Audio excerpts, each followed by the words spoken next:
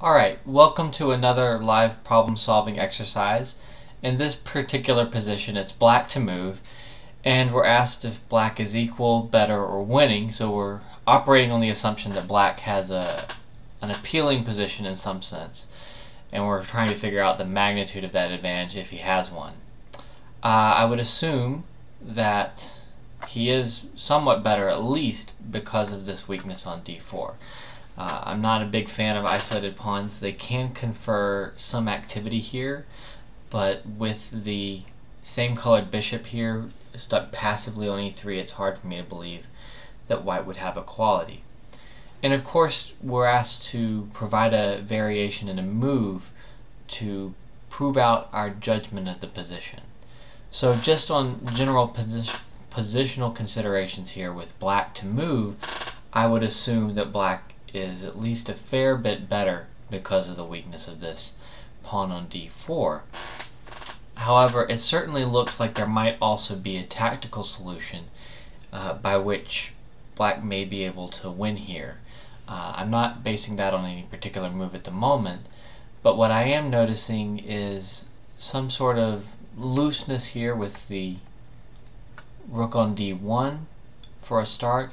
Uh, it's pinned or while the pawn on d4 is pinned to the rook, which means that this rook on c5 looks a little bit vulnerable to me.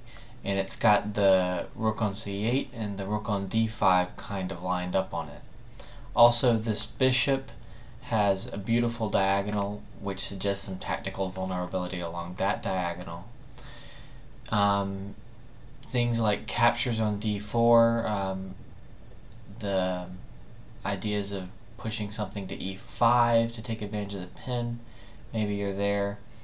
Uh, in general, I'm interested in moving the knight on c6, which may be able to um, open up ideas like uh, rook takes c5. If I were to move the knight on c6, and then I were to play rook on the 8th rank next to the queen to take on c5, then I would immediately win the exchange at least if I had to give up the knight.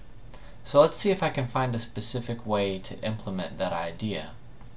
So I've got this knight on c6 that I want to move here so that I can play rook takes c5.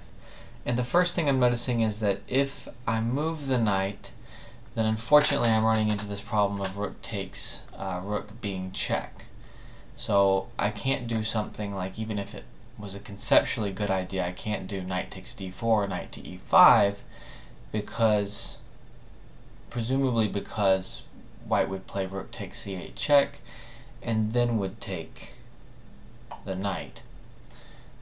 But maybe I have some specific tactical justifications. Let's think about this more concretely. So if I do something like knight takes d4, just to give us a move to start with, I'm loosening up the rook on c5 because I'm capturing that pawn on d4, and I'm opening up also the rook on the 8th rank to threaten c5. And now if white were to play that rook capture c5 move that I was just discussing, there'd be some issues because after queen takes, the queen on b5 would be loose to the rook on d5 and also the knight on d4. And in that position it looks like black has at least won a pawn, and given all his other advantages, I would say that black should win the game. If black wins the pawn on d4 without compensation, I would say that black should be winning, um, although he'll have to be patient about it. So knight takes d4, first off, seems to make sense. Um, if rook takes c8 check, um, it would not be possible to capture on d4 with the knight or the rook because both would leave this rook on c5 under defended and so black would be able to take with presumably either rook and win the exchange. And what about bishop takes d4?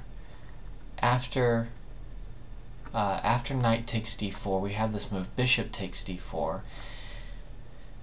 Doesn't look good to me just because uh, just because everything looks so loose here. And sure enough, if bishop takes d4, we have this move rook takes c5. And so in that position, again, because of the pin to the loose rook on d1, um, white would have no means of capturing back and we win at least an exchange. So to me, it looks like knight take d4 is at a minimum winning a good pawn from white. And after that pawn goes, in a lot of ways, white's very loose. It's hard to see how to defend against knight take f3 check, for instance, which will absolutely wreck white's kingside pawn structure. Um, there's also sometimes ideas of knight e2 check, and of course it looks like the knight should just be able to retreat, and after the knight goes back, the bishop is going to be just a monster on this long diagonal, and I, I don't see what white would have in that position. Um, so I think that it looks to me like knight take d4 is definitely the move, and before playing it I think it's good to do a blunder check, knight takes d4, and see if I'm missing any moves for white somewhere along the way. So first off, um, the rook on c5 is loose, as is the queen on b5. So for instance, rook take d5 is not an idea for among other reasons the fact that the knight can capture on b5, capture the queen. So knight takes d4, rook takes c8 we already looked at, rook takes d5 we just discussed, knight takes and rook takes we mentioned and they did not look good. Um, um, bishop takes, we said rook takes c5. I think this is just a winning position for black. I think knight takes d4 just does white in, and tactically nothing works for white there. It just looks like, to me, everything is loose for white, and he's been sort of poorly setting up his pieces. And so I think that this makes perfect sense in this position.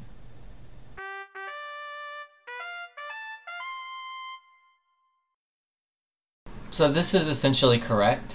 Uh, as the authors note that even if black didn't have a tactical breakthrough here, and he does with the move knight takes d4 as discussed, he would certainly be better because of the isolated pawn, which we were discussing in the beginning.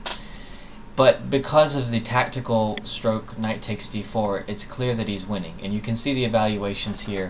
They're better than two pawns advantage to, uh, to black. One point that I didn't notice that is kind of nice that the authors point out is after knight takes d4 here,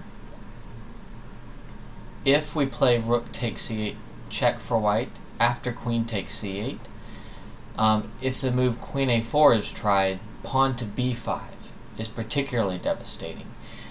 And after that, it's just extra curtains for, for white. He really can't struggle there. So knight takes d4 really finishes the game. It's a nice tactical shot. There's no need to play positionally in this position and continue to work on the pawn on d4 since you can just win it comfortably here.